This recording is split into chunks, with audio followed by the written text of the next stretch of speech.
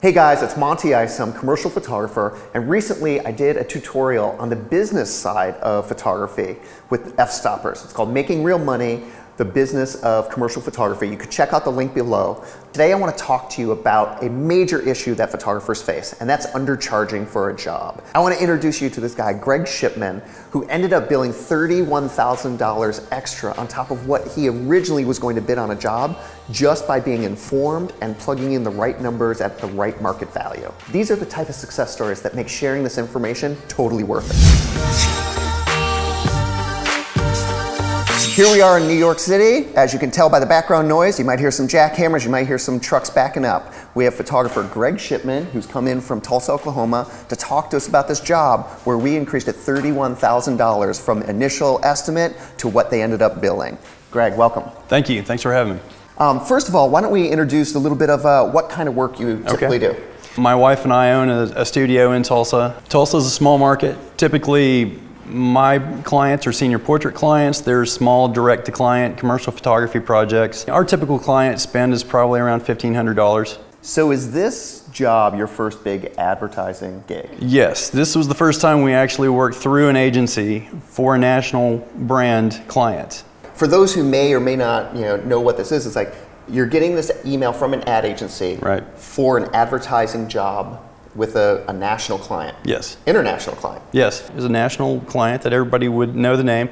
And uh, this was going to be on their website, it's going to be on billboards, it's going to be on mailers, it's going to be uh, seen by thousands and thousands of people. You get that first email, what's your reaction? My reaction is uh, I was like the dog that caught the car. This was something that, that my wife and I had talked about, and uh, it was an opportunity that we knew eventually we were going to get this opportunity to bid on a project like this. This is what we were trying to build our portfolio towards, and uh, we were excited about it. Uh, but it was also a little overwhelming getting that email, and now it's there in the inbox, and we've got to reply to it and not sound like newbies. This has to be way different than what you're typically ready to respond right away. Sure. Someone asking to do some senior portraits right. for yeah, their son or their daughter right. coming out of school. Did you have any idea putting together an estimate or even what needed to be included for a job this big? Uh, no, I didn't. the shot list was massive, uh, and that's probably the most overwhelming aspect of it.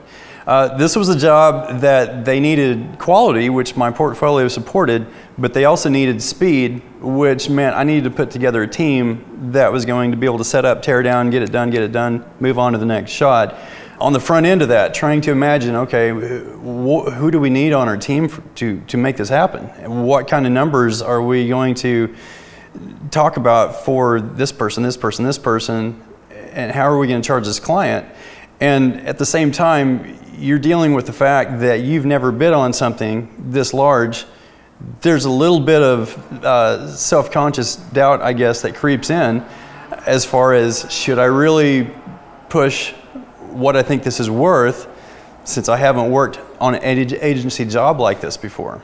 So your regular day rate that you do for your senior portraits or things like this, what did that look like compared to what you billed on this gig? It was really different. A day rate, again, is a, is a term that really wasn't in our lexicon for our day-to-day -day business with our direct client uh, projects and our, and our portrait clients. Typically, when we're working with senior portraits, when we're working with small local businesses, it's a one to two hour project here and there, 90 minutes here and there.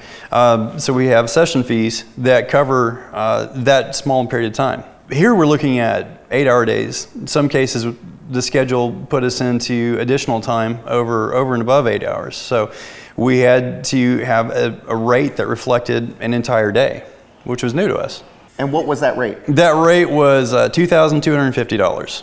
So when you think about it, how do you get to that 2250? To get to that number, um, that again, the, the value of my purchase of this video, to me, the biggest value was access to the Facebook group because that's exactly the kind of question that you can go there and ask and get input not only from you, which I appreciate, uh, but input from, from other professional commercial photographers from around the world. We rarely had to wait more than an hour uh, to, to have people chime in. And uh, I mean, I know you're a busy guy, but even you, I don't think we had a day go by when we asked a question that you didn't answer the question personally by the end of the day.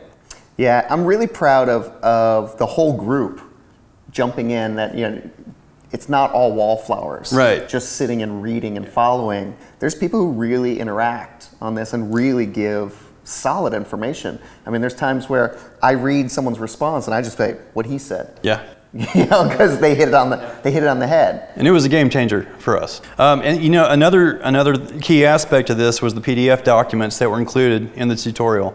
Uh, it really helped us not only price the value of various line items, but just the structure of it and what line items to include, what they needed to look like, and and how to present it so that it just looked like a professional bid from somebody who knew what they were doing.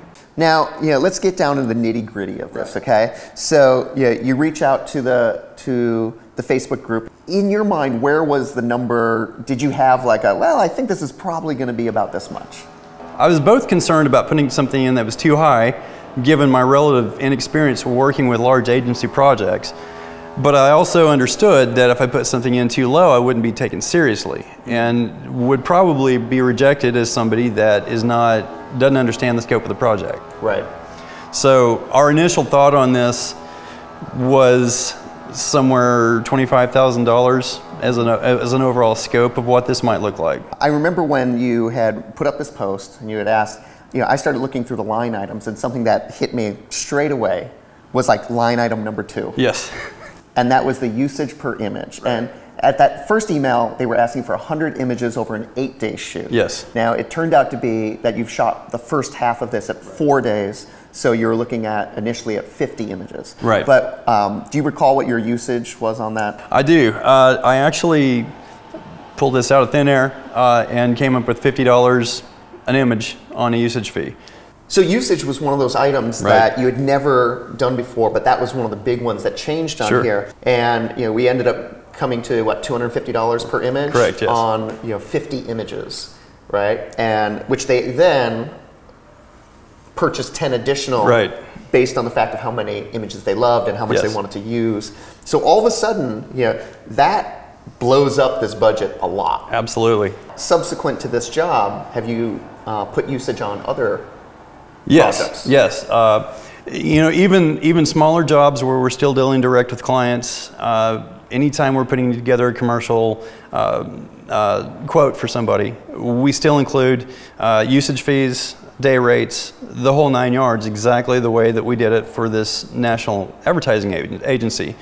Um, I do that even if I'm not going to charge them at that level, so that we can show them the value of what we are charging them and then apply a discount to get to whatever their budget may be if it's a job that makes sense to do for less. I know also one of the big things was retouching. Yes. That the client ended up using you to do all the retouching Right. per image uh, in the end. And how much did you end up charging for retouching per image? We charge $250 an image for retouching.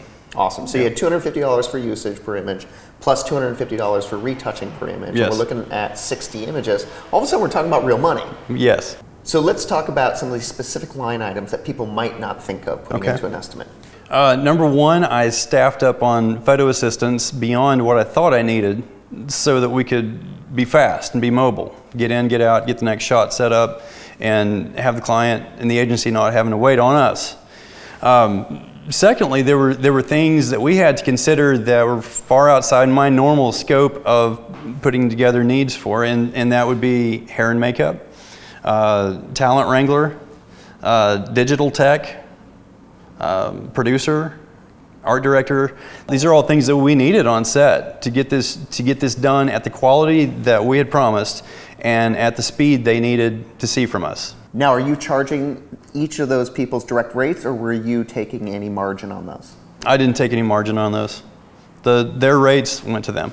Awesome. I feel the same way. I know many people do mark up um, the people who work with them. Yeah. Personally, I feel that you know they're usually the hardest working people on set. Right. They should get what they what we bill. Exactly. And if I can bill more than what they usually get, then I give it to them. Happy crew makes for good photos. Exactly. The bottom line, I think, at the end was if I if I looked at it, was fifty five thousand dollars is what you billed overall Right. For a four day shoot. for a four day shoot. So $55,000 sounds crazy to people who may have only done again, the senior, a senior portrait or like some small local stuff. But here it is, like you're living proof, like this is happening and this is real deal.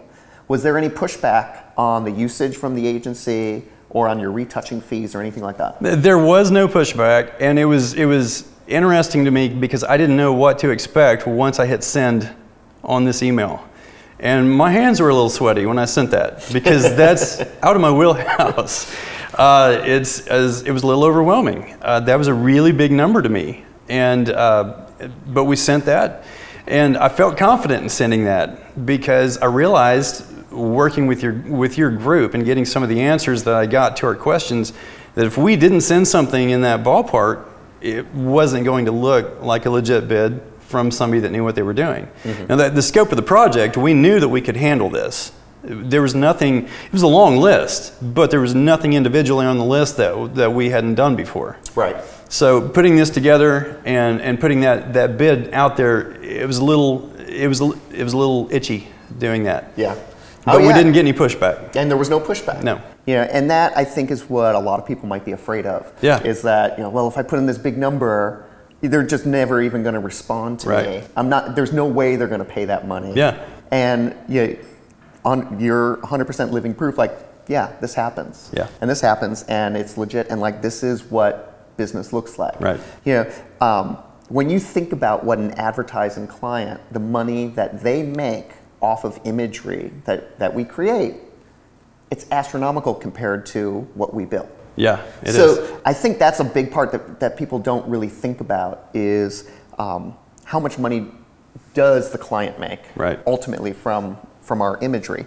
Now we talked about all, you know, all these additional you know, assistants and, and line items that you didn't have before that you haven't used before. Right. So you know, what was from your first draft to your final billing, what was the difference of what you took home? Because you got to pay all these people. You got to pay your assistants. You got to right. pay the food stylist. Um, what was your initial take home from this, and what was your your your haul at the end? Uh, significant difference, Monte. Our our our take home on our original bid was around twelve thousand five hundred, and after the appropriate revisions and uh, even staffing up and coming up with additional line items that we needed to fill out our team and pricing those correctly, our take home went to 38,000. Awesome. So yeah, I mean, on a $55,000 overall job, I don't want people just to, to hear, oh, $55,000, yeah, they didn't increase that much, they had so many more people. Right. $38,000 from 12.5 yeah. is a big spread. It is. So coming away from this job, being in the small market and having the experience that you did, you know, what would you say to someone who is also in a smaller market who's looking to invest in their business and in education to try to learn how to do bigger and better jobs? Well, I'm a big believer in self education when it comes to uh, really any kind of endeavor, but especially business endeavors, artistic endeavors. Um, and in this case, this was a $300 purchase which is not an insignificant amount for a small market photographer like me.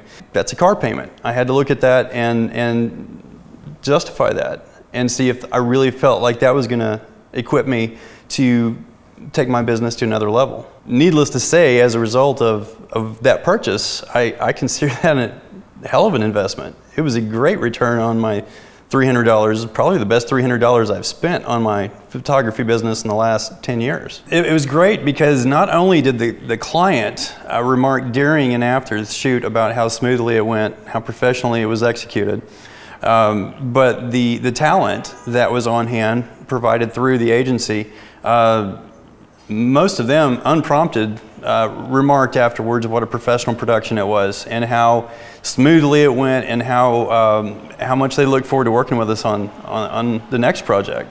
That's great. That's awesome. Yeah. So guys, you know, we talk a lot about this tutorial and all this stuff, but that's the smallest part of this. All of this information to be shared is so then photographers can go and make money as photographers.